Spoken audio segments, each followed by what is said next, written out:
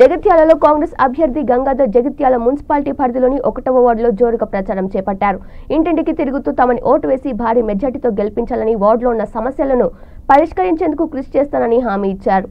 అందరికీ అందరి దగ్గర ఉంటూ ఎప్పుడూ అందుబాటులో ఉంటూ పని చేస్తా. ఖచ్చితంగా నన్ను అత్యధిక మెజారిటీతో గెలిపించాలని కోరుకుంటున్నాను. ప్రజలు ఎందుకు ఓటేయాలి మీకు? ప్రజలు. ఎందుకు ఓటేయాలంట ప్రజల సమస్య వార్డు సమస్యలు ఉన్నాయి. మోర్లు కాలేవు ఇంకా. కొన్ని మోర్ల సమస్యలు ఉన్నాయి. పెన్షన్స్ రాని వాళ్ళు కూడా చెప్తారు ఇప్పుడు తిరిగితే. ఆ పెన్షన్లు కూడా పెట్టిస్తా. ఖచ్చితంగా నా పని వేరే పని లేదు. ఇదే పనిగా ఉంటూ ఐదు సంవత్సరాలు ప్రజలకే నా జీవితం అంకితం లేక ఉంటూ వాళ్ళందరితోటి ఏదే కానీ సీసీ రోడ్డు లేని వాళ్ళకు సీసీ రోడ్డు నల్ల లైన్లు లేని వాళ్ళు కూడా కొంతమంది ఉన్నారు. మీరు గెలుస్తారని నమ్మకం ఉందా మీకు? నమ్మకం నాకు ఉంది. నా మంచితనమే నన్ను గెలిపిస్తానని నా నమ్మకం ఉంది. మళ్ళా జీవనన్న అండ ఉన్నది.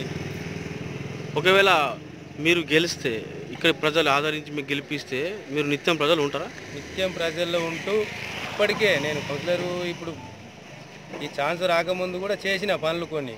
డ్రైనేజీల సమస్యలు ఉన్న జీవనన్నకి చెప్పి కొన్ని చేయించిన వేరే ఏమైనా ఆపదలు వచ్చినా తోలుకుపోయి పనులు చేయించిన మా దానిలో కూడా కొన్ని సీసీ రోడ్లు వేయించిన జీవనన్న అండగుండి నాకు చేసిండు పనులు.